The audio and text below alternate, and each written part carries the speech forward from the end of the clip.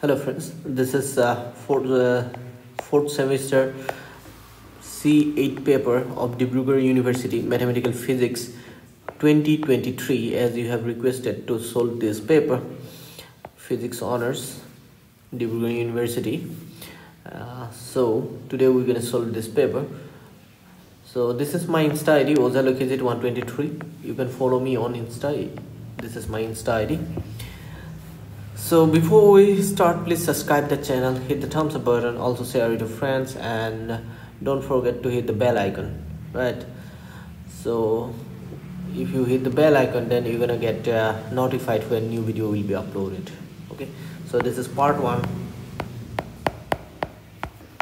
So now let's start. So we're gonna start from question number two because uh, answers to the question number one which is mcqs already given in the form of short uh, and link of short is given in the description box. I have written question number one. Answer. Then the link is provided there.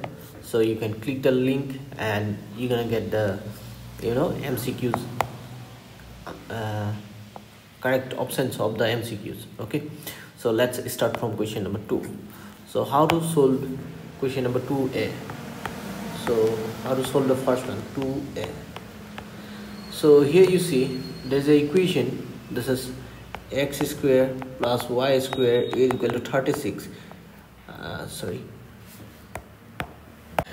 Now you are asked to uh, express it in terms of conjugate coordinates of minus 5 5 right? so what gonna be the conjugate coordinates? So uh, before going to that part if you see this equation this is nothing but a equation of a circle whose center is at the origin okay with radius 36 means 6 square. So radius gonna be 6 units okay radius is 6 units.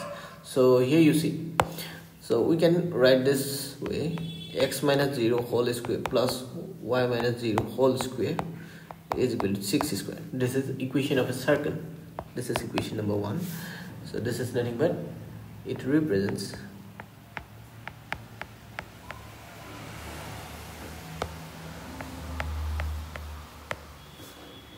a circle with center 0 comma 0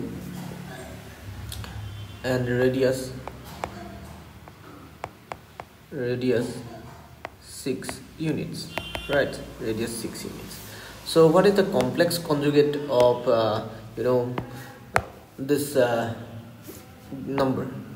Minus 5 plus 5i complex conjugate of minus 5 plus 5i is equal to 5 minus 5 comma minus 5i so here you see now we have got the complex conjugate. So its corresponding coordinate will be minus 5 comma 5 so let us shift the center to minus 5 comma 5 okay from 0 comma 0 to from 0 comma 0 to minus 5 comma 5 so now uh, the equation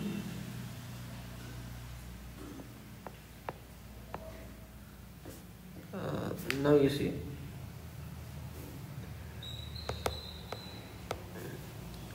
Now uh, let me write this way let us take the center at this point. Then this equation number one becomes x minus minus 5 whole square. So that's going to be x plus 5 whole square minus minus plus. So we can say x plus 5 whole square. Similarly y minus minus 5 that means y plus 5 whole square. 6 square right?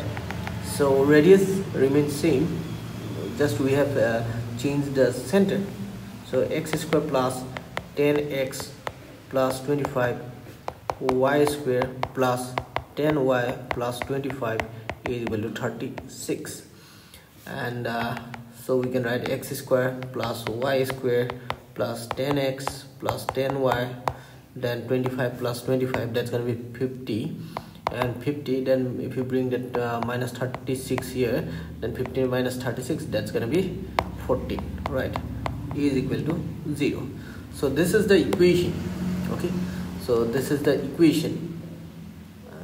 This is a given equation. So the given equation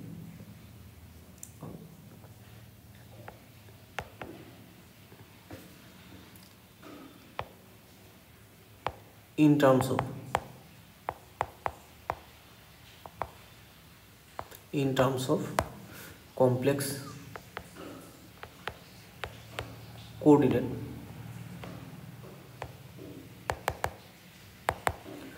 Of minus 5 plus 5i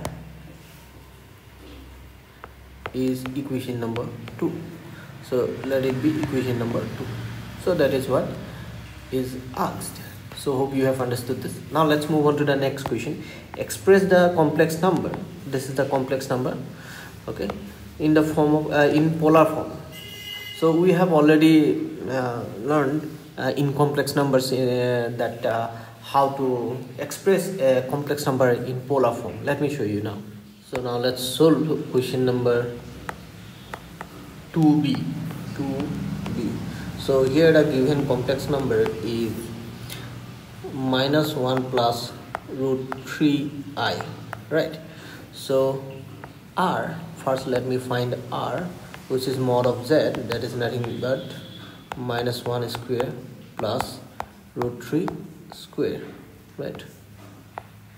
Root 3 square and that's going to be equal to minus 1 square is plus 1 then root 3 square is 3 so 1 plus 3 that's going to be 4 so square root of 4 is nothing but 2 so this is equal to we have got 2 value of r is 2 so now tan alpha let's find tan alpha.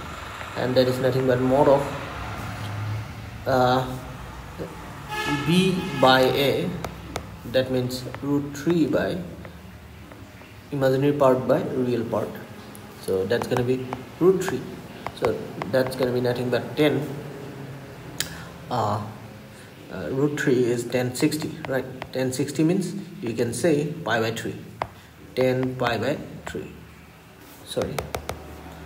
tan pi by 3 is nothing but root 3 so here alpha going to be equal to pi by 3 therefore now you see what is the argument of z? That means uh, the given number so here you see the point representing this is uh, this complex coordinate that is minus 1 comma root 3 that is minus 1 comma root 3 that's going to be going up right? So in the second quadrant right? Minus 1 minus 1 comma 3 this is minus 1 comma root 3 right? So it's going to be in the second quadrant. So so in second quadrant what going to be the you know if uh, this is minus, uh, 1 comma 3 uh, root 3 that means what so that means this is root 3 and this length is 1 so tan alpha gives the, the uh, this this is the alpha. So when you need argument then we need this angle with the positive x-axis and that's going to be equal to pi by sorry pi minus alpha right? So for the second quadrant. So that's why. So here we're going to get argument that is theta is equal to pi minus alpha since the point representing Z is in second quadrant second quadrant. So that's why what we're gonna have we're gonna have theta is equal to pi minus here alpha is pi by 3 so pi minus pi by 3 if you simplify it is 3 pi minus pi that's uh, divided by 3 that is nothing but 2 pi by 3 2 pi by 3 so hope you have understood this and we have got the argument therefore the polar form the polar form of the given complex number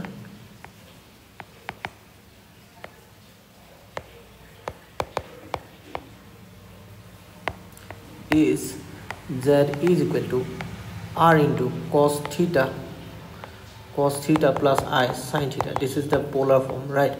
Uh, and uh, here we have got r is equal to root 2 uh, sorry not root 2 only 2 we have got 2 then we have got cos theta. Theta is we have got 2 pi by 3 plus i sine theta. That is again 2 pi by 3 so this is the polar form right? So this is the answer. Now let us solve this question. Uh, so here uh, to answer this question let me take a new slide okay? So here is the difference. Here you see we can uh, express a, a, function of complex variable in terms of uh, Laurent series that we have already discussed if you have watched all my videos made on complex uh, number then you must know this. And this part is called principal part. Okay? This part is called principal part. Here you know powers on uh, z are negative. Okay? So here you see. In essential singularity what happens? There are infinite number of terms in the principal part. Okay? For example here you can see. For example this is a function and if you expand it you know e to the power x is equal to you uh, hope you know this uh, uh, you know uh, this series. X plus x square by factorial 2 plus dot dot dot so on. Here x is nothing but 1 by z. And if you put that you're gonna get this series.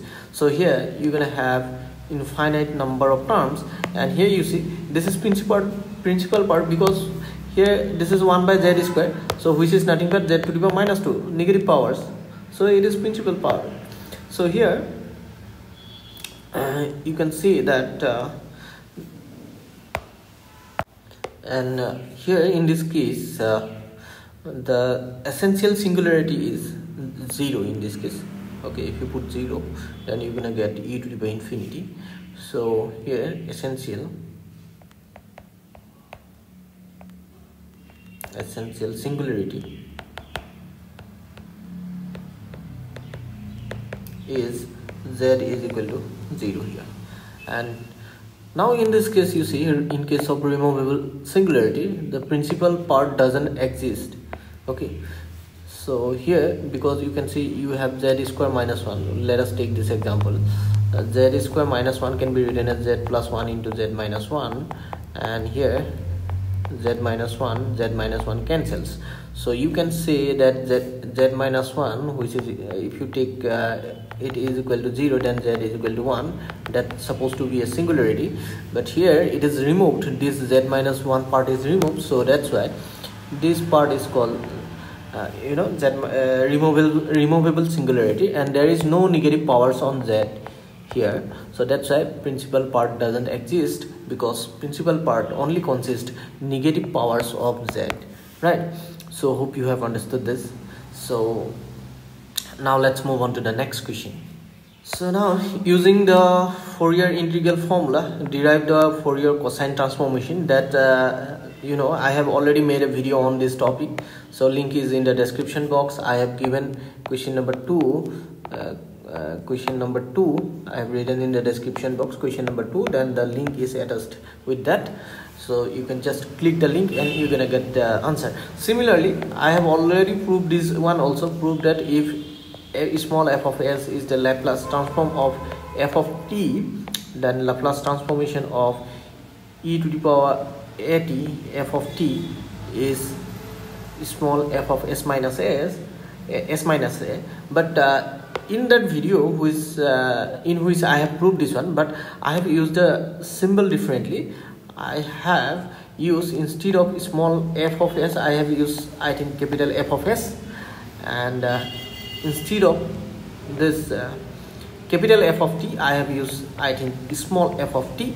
And here this is going to be capital F of S minus uh, in, in that video. So when you're going to answer this question, as in the question, this symbol uh, should be used according to the questions okay? So uh, if i had used uh, capital f of s but in the given uh, in the in this question it is given that uh, small f of s. So use here is the screenshot of the video where i have proved this. I'm uh, made a mistake there. This supposed to be you know capital f of s only okay? Capital f of s okay? So there should not be any that should be capital f of s. And uh, that's it. But uh, in this question in this question you see uh, they are using instead of uh, capital f of s in this question they have used uh, small f of s minus a replace it by this because use the symbols according to the question okay? And in the question instead of capital small f of t they have given capital f of t right? And uh,